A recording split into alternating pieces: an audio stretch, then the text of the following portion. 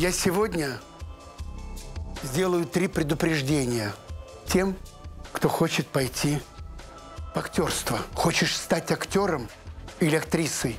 Иди. Никого не слушай. Ни на что не обращай внимания. Потому что сильные желания сродни мечте. Второй совет. Поступая, будь готов к тому, что могут и не принять, могут не разобраться в тебе. Будь готов к тому, иметь запасную дверь. Вот лицевая сторона – это одно.